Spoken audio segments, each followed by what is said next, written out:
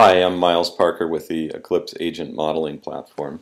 And in this screencast, I'm going to talk about uh, the agent modeling platform itself and give an overview of um, kind of the history and, um, and what it has to offer, um, both to people involved in agent modeling and um, uh, all kinds of other things. So first, I just wanted to briefly look at the history of uh, how we got to where we are. There have been a number of agent-based modeling tools over the years, starting with Swarm, which is the uh, echo of, of, of, its logo in our, in our logo. Ascape, which I began developing in 1997. To 2003 or so, it became clear um, to me that although we'd taken a very high-level approach with Ascape, and it was, it was possible to um, to define a lot of modeling stuff and very very few very little code um, there was an essential limit to the Java API approach. And I began looking for model driven approaches and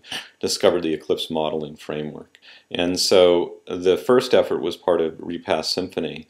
And then um, um, after that I brought out the meta model aspects into meta ABM um, with the idea of being able to target all sorts of uh, agent modeling platforms not just Simphony and then finally, all of this is led, led into um, the agent modeling platform and into the A-Core meta model, which we'll talk about. So why um, did we do this? Um, well, as with as with um, in many fields, particularly in science, um, there tend to be sort of two sets of tools. One are proprietary and expensive, um, think Mathematica, for example. And the other are open source tools that are developed around a particular community. And those can have varying degrees of quality, varying um, um, degrees of cohesiveness of community, and so on. Um, but especially in ABM, there, there's sort of a big gap between these two.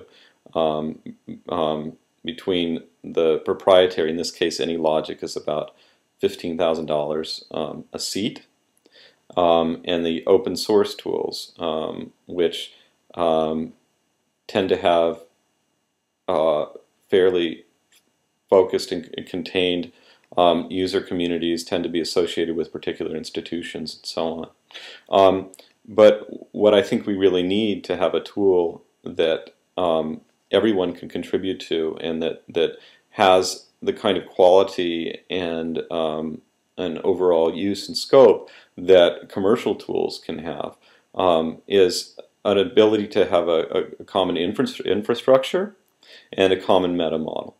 And we'll look at how that, how that comes together.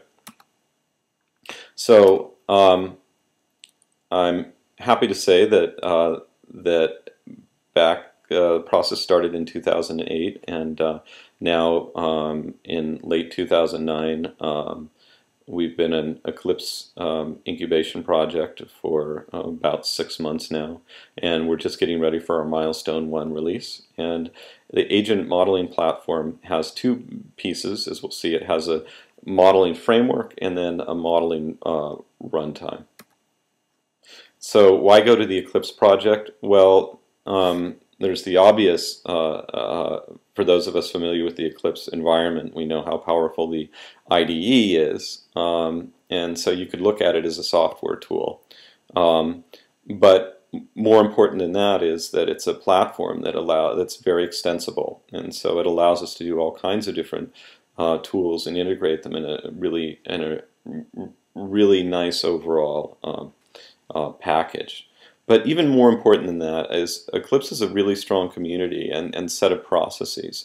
And the most important thing in terms of building a community around agent-based modeling tools um, to get around institutional barriers and stovepiping and so on is that it has an open development process that's, that's, that um, everybody feels uh, that that that should allow everybody to um, participate on an equal basis. And so, I, I, of all of the different aspects, it's probably the community aspect that's most um, that's most appealing for um, for those of us who are um, involved in, in bringing agent modeling tools um, to a, a, to a broader audience.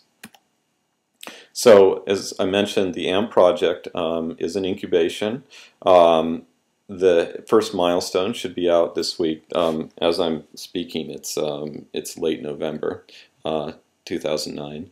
Um, we've got pretty decent docs. Um, we've just finished all of the IP, uh, which is, um, for those of you familiar with the Eclipse um, IP process, that's a significant milestone. Um, we're hoping to get on the Helios release train, and uh, we're really working hard at um, getting the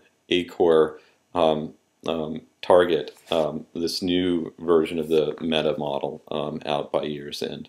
But I want to make it really clear that people can use AMP right now. Um, the Escape API is based on the Ascape API, which has been around for 10 years. And so if you write code to that, um, you can be assured that um, all of that will work with future versions of the AMP um, project. Um, and anything that you do with meta ABM models will be automatically converted to ACORE models. So that's all future proof. Um, the AXF and AGF API stuff um, will certainly change, but we're following standard provider packages and so uh, um, patterns and so on. So those changes will you should generally be pretty straightforward and pretty pretty simple to adapt to. No pun intended.